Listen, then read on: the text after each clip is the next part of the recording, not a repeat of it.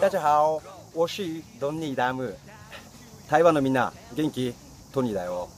えっ、とね、今回、えー台湾と日本の友好企画として AV 男優オーディションやったわけなんだけども、まあ最初から最後までいろいろありましたね。うーん、まあいろんなドラマドラマがあって、えーまあ秋葉雅人とか三寄舞とか、えー出演者のみんなとかね。まあ本当に予想外のことがいっぱい起こったんですけどもね。次いよいよ最終回だからもうこれ絶対見逃すなよ。見逃したらお仕置きだからな。うん。よし。じゃあ最後いよいよ最終回だからみんな絶対見逃すなよ。俺もちょこっと後で出てくるぜ。じゃあねまた。ビデオで会おうね。バイバイ。剣